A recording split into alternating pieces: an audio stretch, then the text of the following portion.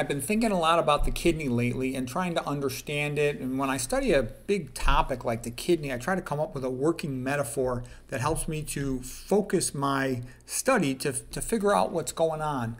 And as I thought about the kidney, I kept coming back to the idea of a kitchen sink. So I'm calling this video Your Kidneys, the Kitchen Sink, and a Canary. Um, and a couple thoughts. First of all, all the garbage from the rivers and the sewers, it flows down to the ocean, so the ocean becomes essentially a sewer. And all kinds of debris accumulates in the ocean. There's something called the Great Big Pacific Trash Island, or it's called the Pacific uh, Garbage Patch. All these plastic bottles and other uh, garbage just piles up and it almost makes its own little island. And in the human body, the equivalent spot is like the kidney. And we're going to talk about what that means. Okay, the kidney, of course, filters the blood and then it makes it into urine, uh, the waste products, and excretes that to the bladder. And then this is the bladder jet, then we void it out. Okay, so now why do I say it reminds me of the kitchen sink? So normally the kitchen sink flows into a drain and it's removed from the body. Okay, some kitchen sinks have a garbage disposal, which is a nice thing to have, but the human body does not have a garbage disposal. You can't get rid of uh, problems that easily, so you want to take good care of it. If the kitchen sink is not well taken care of, you end up, well, first of all, here's a garbage disposal, you know, and that'll clear everything out, and it's wonderful to have that, but the human body does not have that.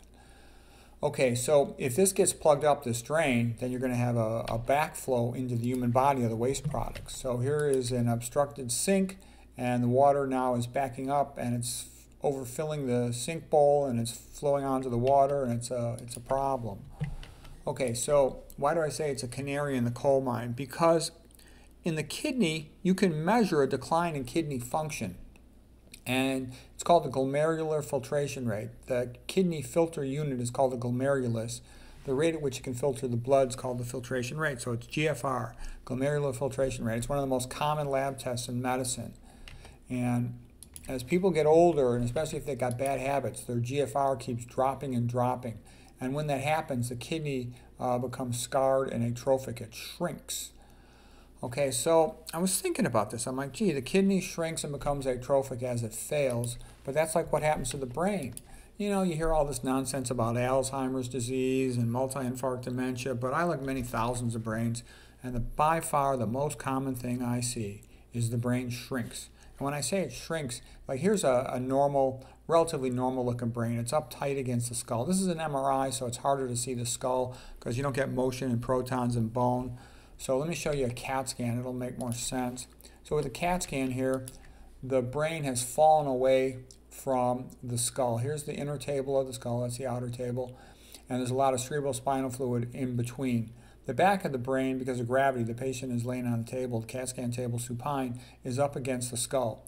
So if the entire brain looked like this, we'd call it a tight brain, like a young brain, where there's not a lot of cerebral spinal fluid on the outer surface of the brain, in between the brain and the skull. This is like a loose brain, a trophic brain, a shrunken brain. And this is what I see all the time. This is by far the most common thing I see on all these uh, brain CTs and MRIs where the history is cognitive decline, you know, memory loss, dementia, okay? So a shrunken atrophic brain, just like the kidney shrinks and it's atrophic.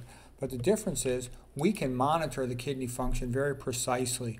And in a sense, when you see that GFR dropping, it's almost like you've turned over the hourglass and a person's time is running out. If they get their health habits together, you know, eat a very low protein diet, low in phosphorus, low in acid, low in advanced glycation end products, they can really slow that down a lot. That's like what Kempner was doing with his patients back in the day before there was dialysis. So we're going to talk just a little bit more about this. Here's the renal artery, goes into the kidney, then it goes up into the renal cortex. Cortex means the periphery, like the bark bark of a tree. So that's the renal cortex. These are called the medulla, medullary spaces. Um, so here's the inflow artery, um, the afferent arteriole, and the blood will then be filtered in here, and then the urine, the primary urine, comes out in this what is called Bowman's capsule. Then it goes through the tubules, and certain things are reabsorbed. Okay. This is just a little more detailed drawing of the, the Bowman's capsule right here where the urine is filtered out. It's called the primary urine and subsequently it gets processed by the tubule as it goes along before the final urine is excreted you know, into the uh, collecting system of the ureters and whatnot. the kidney, where it first filters the blood, it's like a strainer. This is also called a colander. And you have a certain size for the holes. And anything bigger than this can't get filtered through those holes. And the human kidney is very much like that. Um, so the, you have the blood coming in, and that's the feed, so to speak. And then what makes it through the holes is the filtrate. Okay, if these holes get bigger, bigger and bigger things can get filtered through. So most common, so here would be an example of the holes being made bigger. So here's the baseline starter holes, and then here's the holes that they get made bigger. So now bigger proteins can pass out of the blood into the filtration space, Bowman's capsule, the primary urine, as those holes get bigger. And something like that is what happens in humans. Here's a little more detailed drawing of the kidney. So here's the afferent arteriole, the blood comes in. This is just continuation of it as it loops around. This right here is a protein, albumin. It's the most common protein in the blood. It's pretty small. It's about 69 kilodaltons, and normally it's not filtered in significant amounts into the urine. But with uh, progressive uh, increased leakiness of the kidney endothelial layer, capillary uh, basement membrane of the glomerulus, all things called a glomerulus, you get more and more leak of albumin, the protein from the blood.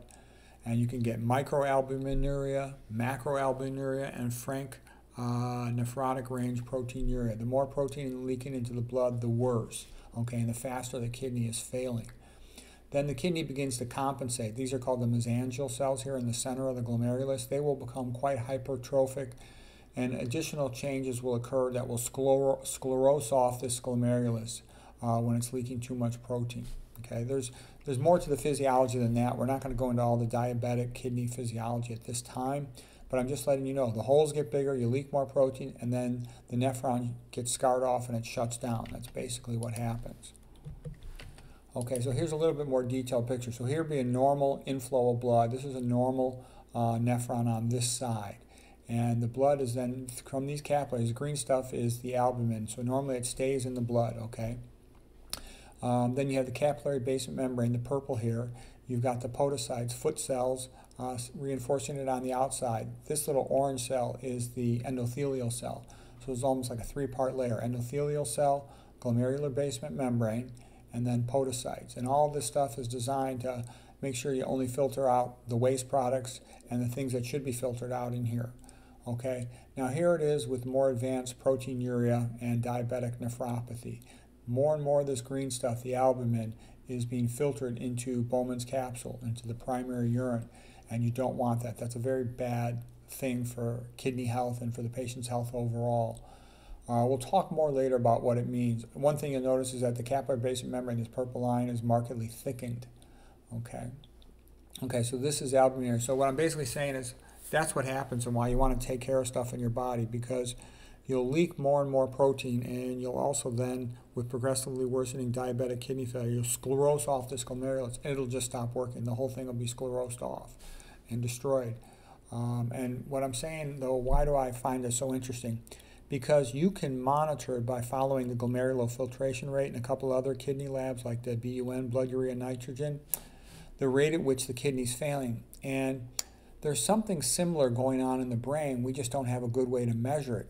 And so what I'm saying is if I, you know, if you go into any, you know, CAT scan department or MRI department, anywhere where they're checking patients' renal function every day, they check tons of patients. They'll check hundreds in one hospital in one day. Um, you're going to see lots and lots of people have uh, mild to moderate kidney failure. It's super common. Once they get over 50 and especially over 60 and 70, it's super common. Not all of them do. I'll see patients who are 80 years old with totally normal kidney function but I'll see quite a few with uh, moderate abnormal function. You know, it's, it's relatively uncommon to have severe kidney dysfunction because, you know, they're on dialysis and they usually die pretty soon. Okay, most kidney failure patients, they don't make it to dialysis. They die of heart disease before that because it's a major increase in cardiovascular risk. But the reason I went through all this was you can monitor what's happening in the kidney and it's a reminder that something similar is happening in the brain. So you want to get your act together fast when you see a drop in your kidney function. You, you can just check your GFR. You can check your GFR every couple of years. Check your GFR. Like me, I'm 61 years of age. I would just check my GFR about once every five years, okay? because I know I'm really healthy. Okay, if I wasn't so healthy, I would check it more often. Anyways, I, I, I think that was a, an interesting metaphor. If you're interested in the kidney, that's an interesting metaphor. The idea of being like a kitchen, a kitchen sink that fails and being like the ocean sewer and the ability to monitor kidney function. It's a canary in the coal mine indicator of you probably also losing brain cells and having tissue dysfunction elsewhere as sewer like debris is being deposited elsewhere and you just can't monitor its rate or effect in those other locations as well as the other things going on in the kidney the hypertension, the hypoxia, and the diabetes related stuff.